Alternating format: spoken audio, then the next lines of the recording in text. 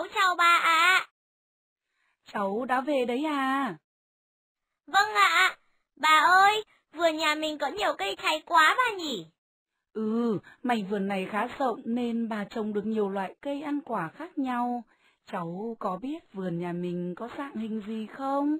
Mảnh vườn này có dạng hình chữ nhật à? Đúng rồi đấy, cháu bà giỏi quá. Giờ bà đố cháu tính được chu vi mảnh vườn này, biết chiều dài mảnh vườn là 35 mét và chiều rộng là 20 mét. Các bạn ơi, hãy giúp mình giải bài toán này nhé.